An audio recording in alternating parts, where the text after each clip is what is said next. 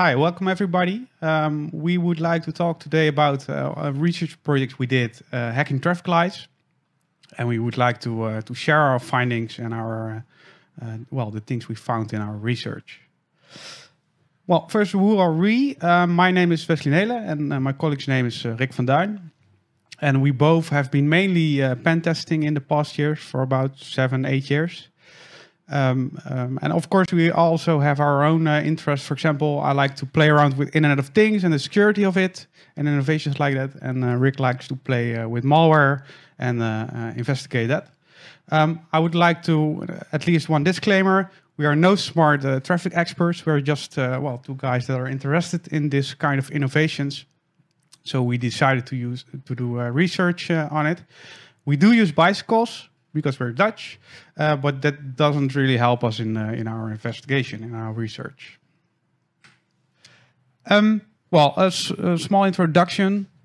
Well, what we've seen that there is an uh, they are creating a platform. Multiple vendors are creating a platform to exchange information between traffic information. For example, uh, road, road signs can report dire status on a network, uh, the, the parking spots, how many are uh, still available and how many are occupied, other traffic status, for example, is there a traffic jam and stuff like that.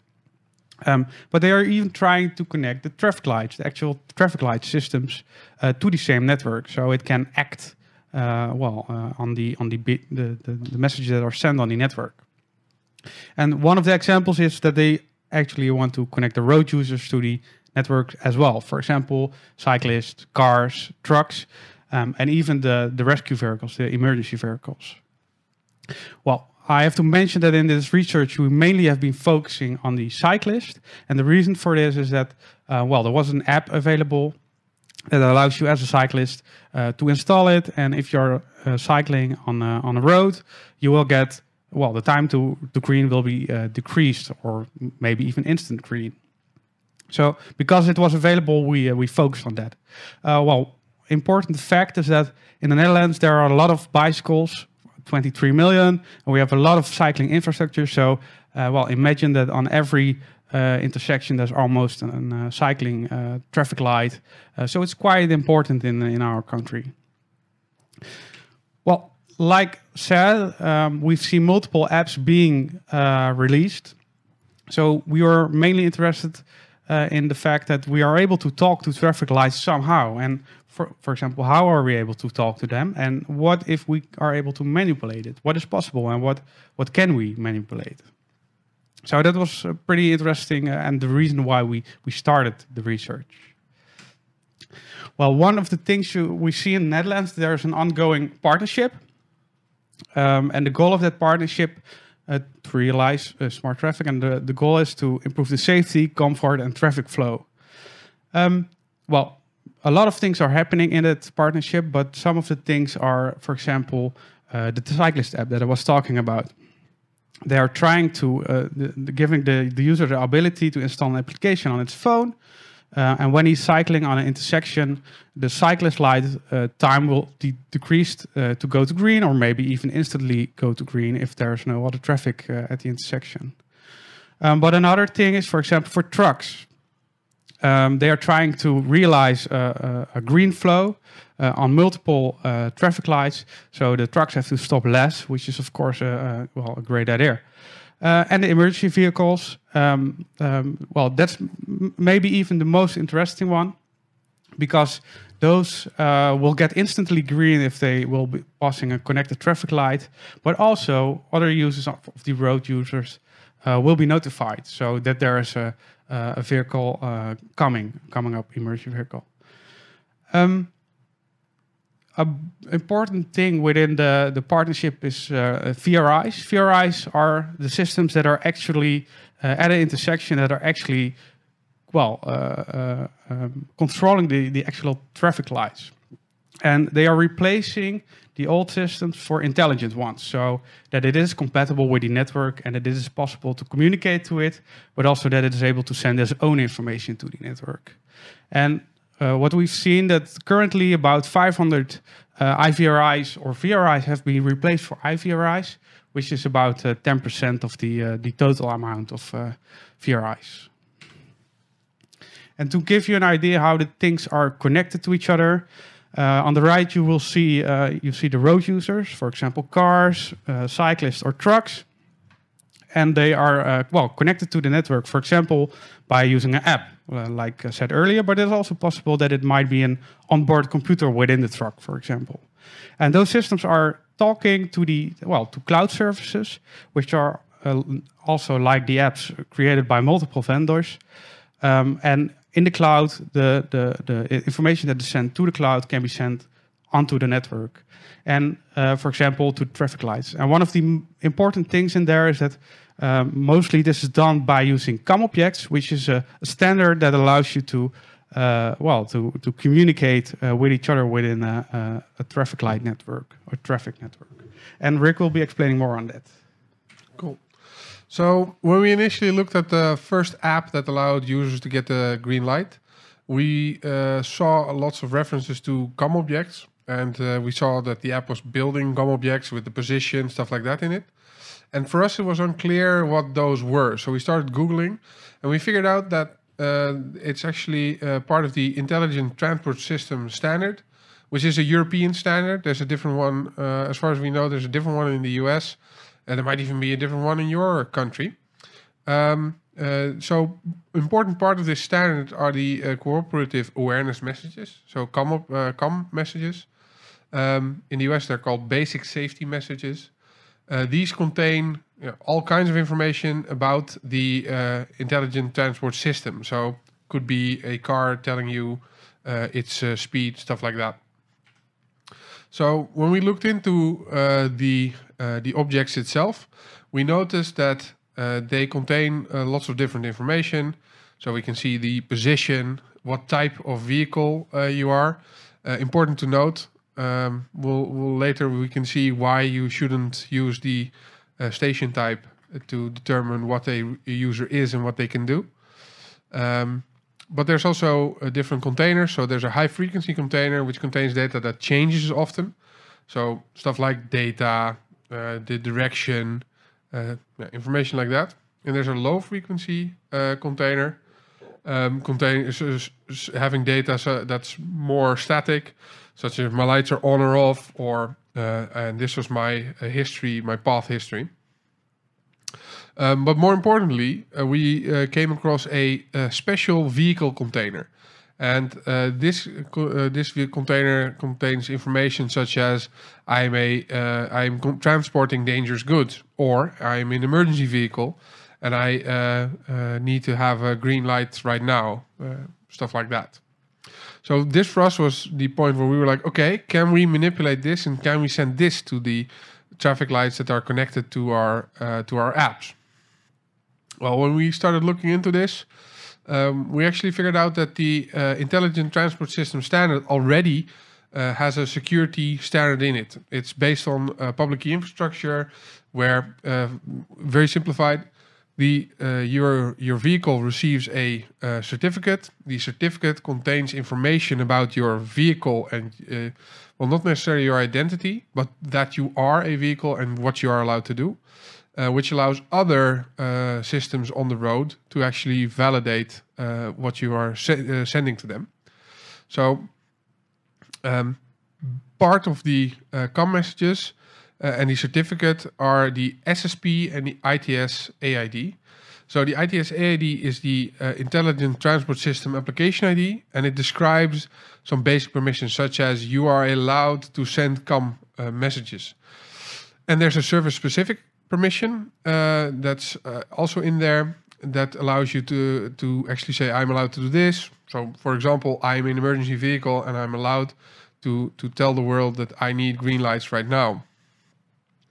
Um, so every message you you send out, you sign, uh, and is combined with the certificate in order to uh, let other systems on the road identify that the the the, the message you are sending them is actually valid. You are allowed to send it, uh, and that you actually have the the correct permissions to request this. So when we were preparing this presentation, we actually came across some interesting work already that's being done on this.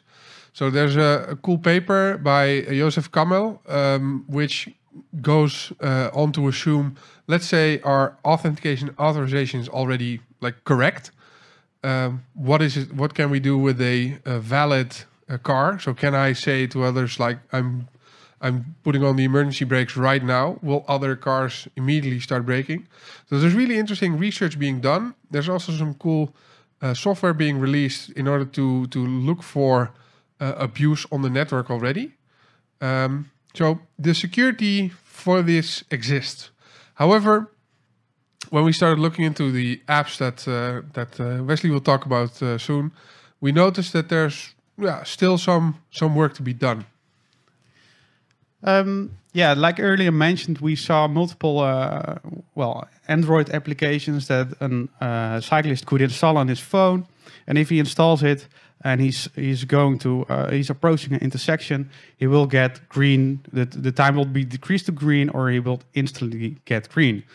Um, so when we saw that, we were like, okay, what's going on? How does this app work, and and what is it, is it exactly doing? Um, and what we did, we did de decompile the applications, and we saw uh, that uh, CAM objects were being sent over MQTT. And that was pretty interesting because if we are able to create those CAM objects ourselves and send it over MQTT, for example, uh, using Python, well, we, we might be able to trick the system.